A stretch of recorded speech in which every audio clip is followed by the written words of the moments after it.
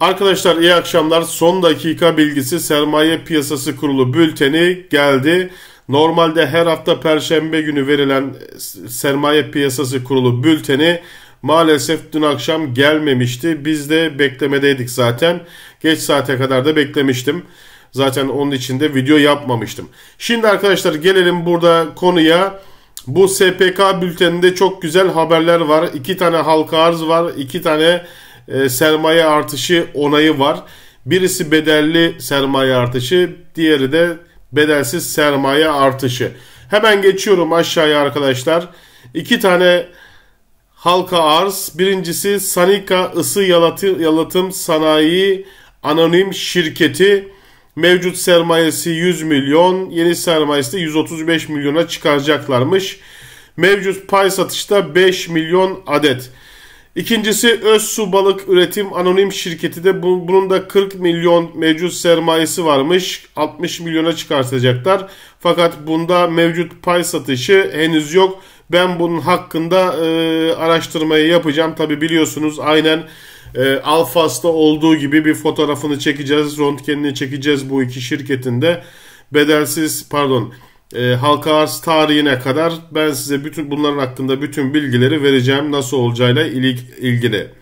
Şimdi arkadaşlar açıklamalar kısmında bir mevcut ortaklardan Ali Fatinoğlu'na ait 1000, 1 e, milyon 500 bin TL, Uğur Fatinoğlu'na ait 1 milyon 750 bin TL ve Emre Fatinoğlu'na ait 1 milyon 750 bin TL nominal değerli B grubu payların satışını gerçekleştirilecektir diyor. Bu hangisindeymiş? Isıka, e, Sanika ısı sanayide. Yine aynısında 1 TL nominal değerli paylar 20 lira 3 kuruş e, sabit fiyat üzerinden satışa sunulacakmış. Diğer bir açıklamada 1, 1 TL nominal değerli paylar 7 lira 69 TL sabit fiyatından e, fiyat üzerinden satışa sunulacaktır deniyor. Yani Sanika Isı Sanayi Anonim Şirketi 20 lira 03 TL. Diğer öz su balık üretimde anonim şirketi 7 lira 69 TL sabit fiyat üzerinden satışa sunulacakmış. Buradaki bilgiler bu. Hemen geçiyorum arkadaşlar. Diğer halka açık ortaklıkların pay ihraçları diyor. Baştaş Başkent Çimento Sanayi ve Ticaret Anonim Şirketi e, bu bedelli sermaye artışına e, başvurmuştu arkadaşlar. %52.93 bedelli sermaye artışı kararı almıştı. Bu da onaylandı. Hemen diğeri arkadaşlar onun altında Gezinomi Seyahat Ticaret Turizm Anonim Şirketi'nin e, bedelsiz sermaye artışı vardı. O da onaylandı arkadaşlar. Onun da e, bilgisini sunmuş olayım. Sonuçta yani güzel haberler geldi. E, bu bunlara katılacağız. Bunlara katılacağız arkadaşlar. Çünkü e, halka arzları biliyorsunuz biz seviyoruz. Halka arzlar önemlidir. Özellikle şirketi inceledikten sonra hangisi daha güzel verimli ise orada yatırımcı olacağız. Fakat e, iyi olmayan şirkette de çorbacı olacağız. Şimdi evet arkadaşlar Gezinomi Seyahat Ticaret Turizm Anonim şirketinin bedelsiz başvurusu %160 arkadaşlar. Gezinomi. Yani bir hissenize karşılık 1.6 hisse bedelsiz sermaye artışına gidecek. Elinizdeki 10 hissenize 16 hisse verecek. Fiyat da aynı oranda e, düşecek arkadaşlar.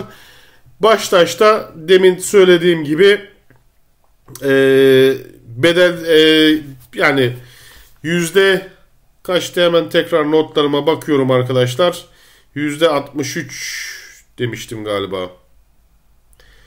Yüzde 52.93 pardon 52.93 bedelli sermaye artırımı başvurusu SPK tarafından onaylanmıştır. Bunlar güzel haberler. İki tane halka arz İki tane de sermaye artırımı. Birisi bedelli, birisi bedelsiz olmak üzere.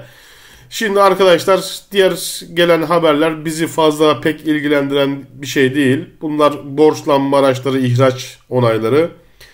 Diğer sermaye, piyasası araçları. Hemen yeni faaliyet izinleri. Fonları soruyordunuz arkadaşlar. Yeni çıkan fonları nereden bulabilirim? SPK bülteninden bulabilirsiniz. Albaraka Portföy Yönetim Hayat Gelişim Sermayesi Yatırım Fonu. Albaraka'nın Albaraka'nın bayağı var. 2, 4, 5 tane var. İkinci karma girişim sermayesi yatırım fonu, ikinci kira sertifikaları katılım girişim sermayesi yatırım fonu, turizm girişim sermayesi yatırım fonu ve e, yenilenebilir enerji ve teknoloji girişim sermayesi yatırım fonu. Diğeri de Magasit Gayrimenkul ve Girişim Sermayesi Portföy Yönetim Anonim Şirketi GEM Girişim Sermayesi Yatırım Fonu. Aşağıda unvanında yer verilen şemsiye fonunun kuruluşuna izin verilmesi talebi olumlu karşılanmıştır diyor. Bu da Rota Portföy Yönetim Anonim Şirketi hisse senedi şemsiye fonu. Başka suç duyurusu ve idari para cezası ile diğer yat, yaptırım ve tedbirler. Tan Ege'liymiş. Bu Egeli Holding'in yasal kayıtlarda gerçeğe aykırı hesap açılması ve kayıtlarda muhasebe hilesi yapılması suretiyle Egeli Holding'in finansal tablo ve raporlarının gerçeği yansıtmayan şekilde düzenlenmesi nedeniyle fıkrası diyor ne kadar ceza vermişler ne ceza vermişler? Suç durusu e, yapılmasına karar verilmiş arkadaş arkadaşlar. Ee, suç durusunda ihbarda bulunan şahıslar evet bunlar var idari para cezaları var Bakalım My Gear. Ben de sizinle beraber yeni okuyorum arkadaşlar. Daha önce e, sadece şeye baktım. E, bedelsiz ve bedelliye baktım. Bir de iki tane halka arıza bakmıştım. E, ortaklık yapısı değişiklikleri. Burada da bir şey yok. Diğer başvuru sonuçları. Garanti portföy birinci serbest fon neymiş bu? Fonun dönüşüm. Dönüşüme e, geçiyormuş arkadaşlar. Garanti portföy birinci serbest özel fon. Garanti portföy birinci serbest döviz fonu olmuş.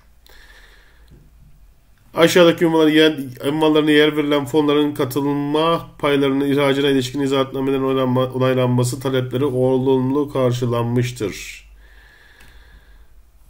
Bakalım burada da bir şey yok. Düel özel durumlar. Evet arkadaşlar bu kadar. Fazla da bir şey yok. Ama bizim için en önemli olan iki şey. iki tane halka arzın gelmesi. Ben hemen bu e, halka arzlar hakkında çalışmaya başlayacağım. En kısa sürede de size e, bunlar hakkında bilgi vermeye çalışacağım. Yetiştirebilirsem e, bu akşam zor ama en kötü yarına ben bunların bir videosunu yapmayı istiyorum. Arkadaşlar görüşürüz. Hayırlı akşamlar.